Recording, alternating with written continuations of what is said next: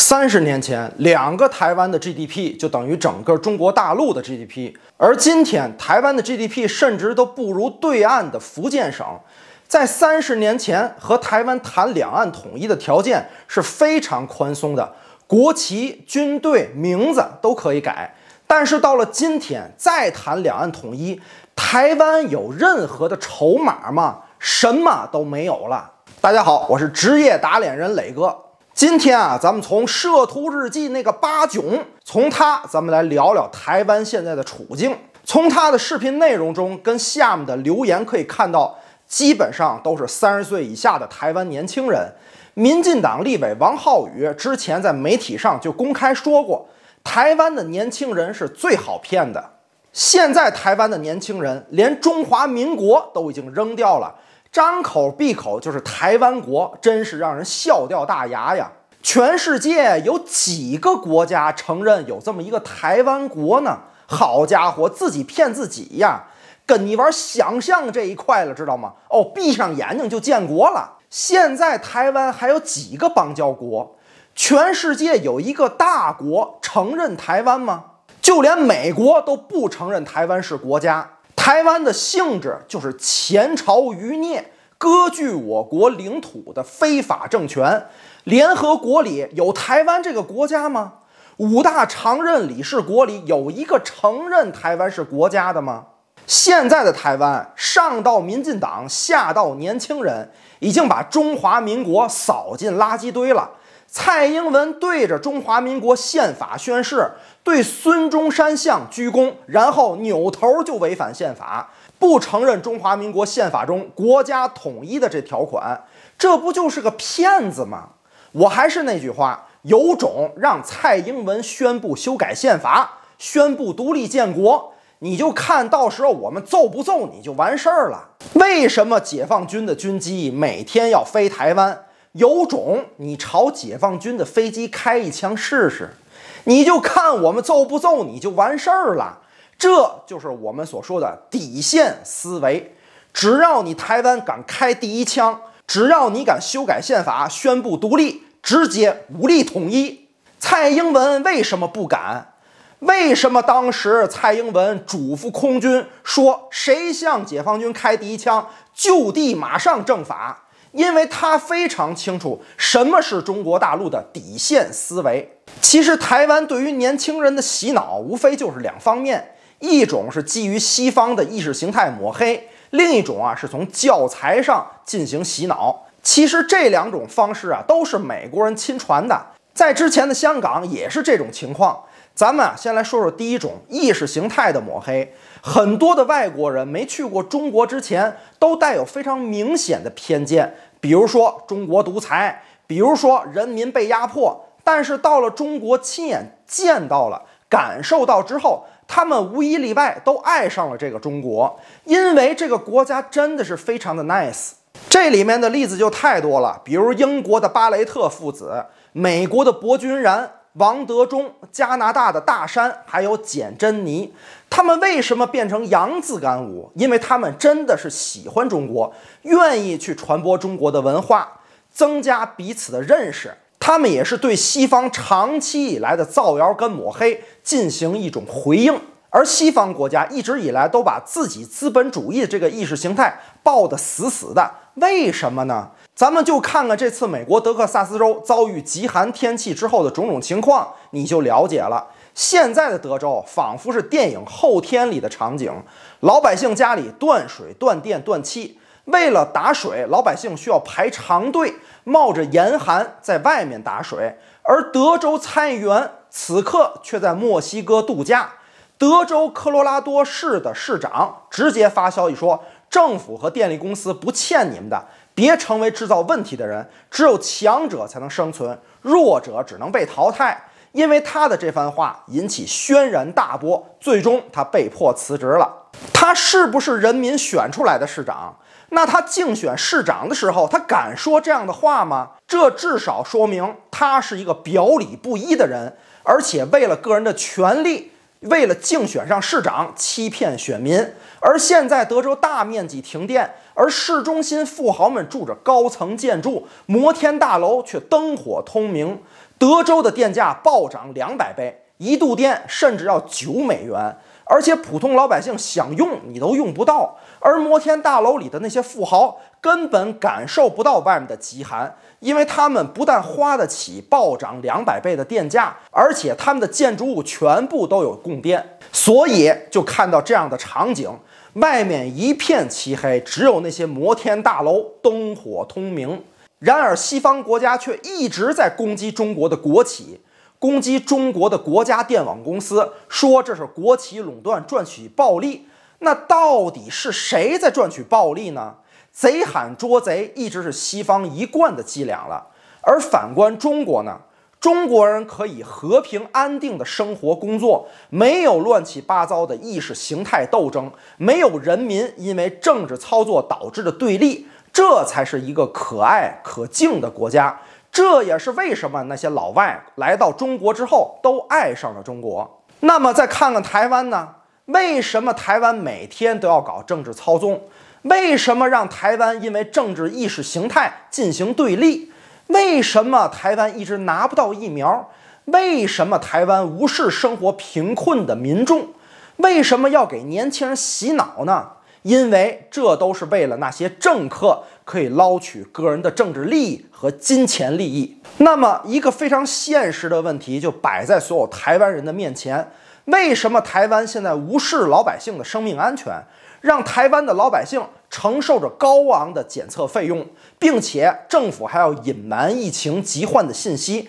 为什么无法获得疫苗？你们听听民进党立委怎么说的。就我们两岸相关的规定，我们不可能使用中国疫苗，因为中国跟台湾有一个敌对的关系，就是中国对我们的敌对关系，它有一些敏感领域不进来的，所以我想这应该是一般的标准之后再加上台湾的特殊处境，台湾其实非常的不适合让中国疫苗进来。他说两岸规定到底是什么规定？他说中国跟台湾有一个敌对关系，到底是谁造成了这种敌对的关系？为什么马英九时期大陆跟台湾的关系都不错呢？而民进党一上台，马上就变成他嘴里所说的敌对关系呢？他还说，中国有一些敏感领域不进来，到底是谁敏感？到底是谁逢中必反？他还说，台湾的特殊处境，到底什么是特殊处境呢？最后他说，台湾非常不适合让中国的疫苗进来。哼，台湾的朋友们知道为什么了吗？因为台湾的民进党就是靠敌视中国、靠逢中必反、靠操纵两岸人民对立上台的。所以，中国这两个字在他们那儿就是高压线，他们宁愿牺牲台湾人的生命安全，也不愿意主动跟中国大陆购买疫苗。那既然民进党这么说了，那好，我作为一个大陆人，现在就盯着民进党，监督你们信守承诺，别他妈用中国的疫苗。其实啊，我说句实话，我是非常非常感谢民进党的，要不是他们这一通无脑仇中的操作。可能两岸的统一还需要等很久。很简单的一个道理，大概二十年前，那个时候大陆的年轻人都看台湾的偶像剧、综艺节目，听周杰伦。两岸大三通开通之后啊，很多人都去台湾旅游，所以大陆人那个时候都对台湾抱有一定的好感，觉得台湾经济发达，各方面都比大陆好。但是自从台湾被大陆彻底的超越，这种超越不单单是经济层面上的，而是全方面的碾压。现在台湾人都是来大陆的公司打工，看大陆的电视剧，玩大陆的网游，看大陆的综艺节目，用着大陆的 APP。二十年前，大陆人是仰视台湾的，现在可不单单是俯视台湾了，而是完全的鄙视台湾。看我的口型，鄙视台湾。就是看一眼都嫌恶心的那种，而加速这种情况，就要感谢民进党了。台湾的媒体对于大陆每天都在抹黑，疫情爆发初期搞仇视大陆，禁止口罩出口大陆，甚至啊，台湾老百姓自发邮寄的口罩都被禁止，并且对中国大陆无穷无尽的抹黑，让中国大陆人民以及台湾有识之士。都看到了这些台湾政客的心到底有多黑，所以在二十年前，没有人谈武力统一台湾，而今天武力统一台湾已经变成了大陆这边的主流民意。虽然中国大陆官方的态度还是谈和平统一、一国两制，但是从官方无论是两会还是对台工作报告上，都已经很少再谈了。因为现在官方也很清楚，台湾的问题现在已经完全不可能和平统一了。因为现在台湾有大量的恶势力以及美国的爪牙，而且他们对台湾年轻人毫无底线的毒害。现在再谈和平统一，就是对台湾人民的极不负责任。因为只有武力统一，把蔡英文、苏贞昌、赖清德、陈时中这种战犯通通送去见阎王。才能震慑台独，才能把台湾的恶势力连根儿拔除。而台湾当局因为自己的政治利益，毒害年轻人的例子实在是太多了。现在从幼儿园开始，就利用幼儿读物宣扬两岸的对立，宣扬台独的思想，然后想尽一切的办法把投票年龄不断的降低。你再结合那王浩宇说的那句“台湾的年轻人最好骗”。那么你一下就明白了吧？你们就看看摄图日记频道下面那些年轻人的留言，真的是无脑反中。只要一喊神秘的咒语“民主自由”，一个个马上就发神经病了。王浩宇说的话太对了，台湾的年轻人真的是太好骗了，太傻了。而从这方面看，台湾的年轻人只是民进党利用的棋子而已。只要民主自由就是好的，大陆就是独裁邪恶的。而因为这些人绝大多数从没到过中国大陆来过，再加上长期的洗脑，就成了我们嘴里说的台独井蛙。台湾有很多频道主，那些骂中国赚流量，经常说的一句话就是：“我们可以骂领导人啊，你们能吗？”拜托，蔡英文他确实该骂。他为了讨好美国，牺牲台湾人的健康，进口含有莱克多巴胺的美国猪肉，买大量美国的二手垃圾，为了吃回扣。上次失踪的飞行员蒋正志，还有人提到吗？有一个台湾有知名度的人还提蒋正志这个名字吗？所以啊，蔡英文当局他确实就该骂。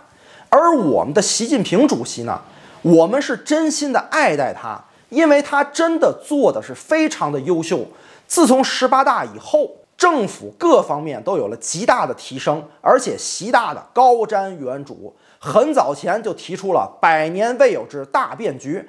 看看现在的世界吧，是不是应验了？这么优秀的领导人，我们爱戴还来不及呢，为什么要骂呢？你有什么资格和理由骂呢？仅仅三十年的时间，大陆人民对于台湾从羡慕到厌恶，再到仇恨，这都是台湾人自己一手造成的。所以，依然抱着台独思想的台湾年轻人，你醒醒吧，面对现实吧！你们现在连面对现实的勇气都没有，知道吗？现在的台湾部队需要你们。赵少康在节目上对着台下的台湾大学生问：“如果打仗，大家要不要当兵？”结果台下这么多人，只有一个人举手，这就是台湾年轻人的态度。而再看我们中国大陆这边的年轻人，在中印边境冲突中壮烈牺牲的边防战士，他们可都是零零后，刚刚二十岁的年轻人。参加过中印冲突的年轻战士，本来可以退伍回家，结果全团拒绝退伍，继续留在中印边境。台湾的年轻人，你们怎么比？巴囧还拿出他的资料证明他自己当过兵。你以为我们不知道台湾如何当兵的吗？为什么台湾的军人都叫草莓兵？超过三十八度不出操，出操还得打太阳伞。新兵三公里的及格标准是十九分钟，而中国大陆解放军的女兵三公里的及格标准是十七分三十秒。你们台湾军人连解放军的女兵都不如，知道吗？台湾海军游泳池训练，一点五米深的水都能淹死人。前国民党中将帅化民他说，他曾经和一个台湾年轻的士兵聊天，他问：如果有一天解放军打过来了怎么办？台湾的士兵说：我妈妈说，要是打仗了就赶快坐计程车回家。帅化民就又问他：你难道不怕政府回头找你算账吗？台湾这个士兵就说：“解放军如果真打来了，一周之后政府就没了呀！看看吧，听听吧。所以啊，金灿荣教授说的一点都没错，进攻台湾跟玩儿一样。消灭台湾二十万军队一点问题都没有。他们在解放军的眼里就是一坨肉，是毫无意义的。为什么现在没有对台湾动手呢？为什么现在台湾对大陆的贸易占全部贸易的百分之四十以上呢？台湾人感谢共产党的善意吧，要不是共产党压着民意，台湾早就被夷平了。另外，这八囧他说啊，爱国比反华赚钱，哼，开什么国际玩笑呢？油管上那么多靠反华赚钱的频道，你自己也是吃反华饭的。油管会给反华频道大量的流量倾斜，所有的中文用户上油管，默认都是给你推荐反华的频道。你是真不知道还是装傻不知道呢？而且台湾这些反华的网红，哪个没收民进党的狗粮啊？吃狗粮你就别说人话好吗？所以我现在问八囧三个问题：第一，你既然不是中国人，那你为什么姓温？你的爸爸、你的爷爷是不是中国人呢？第二，既然你不是中国人，为什么讲中文呢？你别给我扯新加坡、马来西亚，人家可是独立的国家，你台湾是中国的一个省，有种你就让蔡英文建国，你看我们到时候揍不揍你就完了。第三个，如果爆发战争，战场在哪里？最倒霉的到底是谁？一九四一年，毛泽东说过一句话。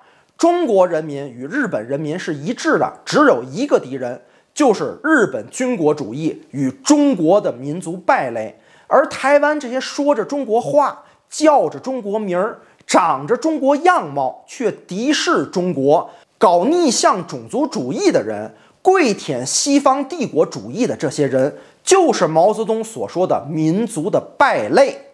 我们这些爱国的中华儿女和你们这些台独狗最大的区别就是，我们是人，而你们是狗。对于你们，很抱歉，没有什么好说的，武统就完事儿了，武统台湾，刻不容缓，干就完了。